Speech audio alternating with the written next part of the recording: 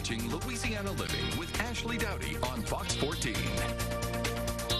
And welcome back. I'm here with Edna Matthews with our tip to be encouraged. Edna, thank you so much for being here as always. Thank you. You know, this is going to be a rainy weekend, so it may be a good weekend to sort of reflect. Well, you know what?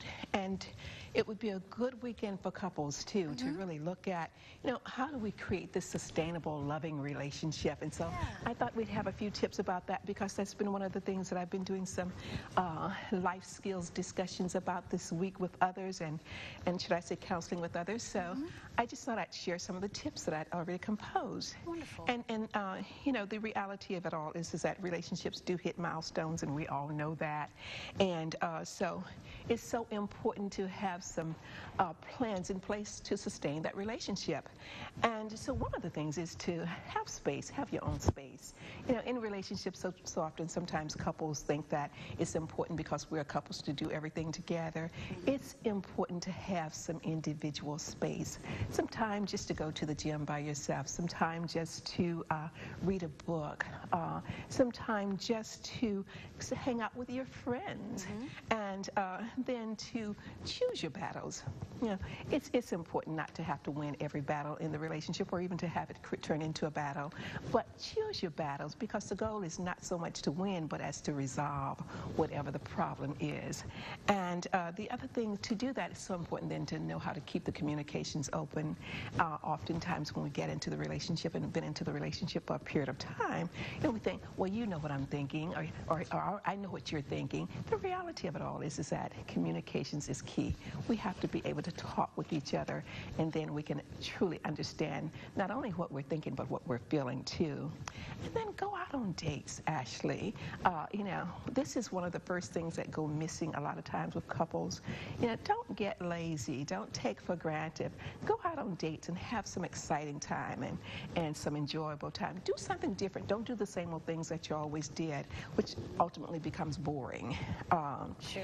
And, and then be sure not to try to be the problem solver. And this is important for men uh, to hear, and, and, too, but oftentimes, you know, when the mate comes and, and, has a problem or a challenge that's going on in her life, you know, men are naturally tend to want to solve the problem.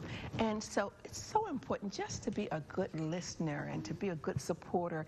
And because this is a person coming telling you something that they, because they really trust you and they feel secure and safe with you.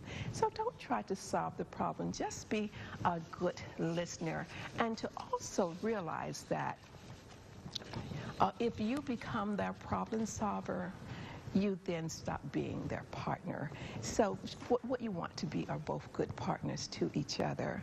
Uh, and then uh, I, I, know that we're going to run out of time. We uh, still have a minute left. Okay. Uh, so have a goal. Each member in the in the in the unit needs to have a goal. This really helps each individual to establish their importance and and to know where their directions are. We don't both have to be accountants. You know, just have your goal, and she has her goal, and in terms, and then you know, as a goal, as a relationship, you can come up with those one, two, three foundations that you want to build your relationship off of, and then have lots of laughter you know, mm -hmm. laughter is key. Create those moments where you can look back on and you can laugh, laugh, laugh, laugh, laugh.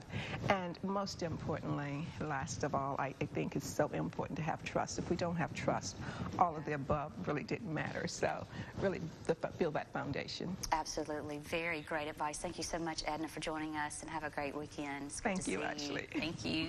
Coming up next, we'll be telling you about bulls, vans, and barrels coming up this weekend at the Ike, and we're going to be joined by rodeo clowns, so stay with us. Total bummer. My little car got hit by a Hummer. Car's totaled. I'm hurt. I'm broke.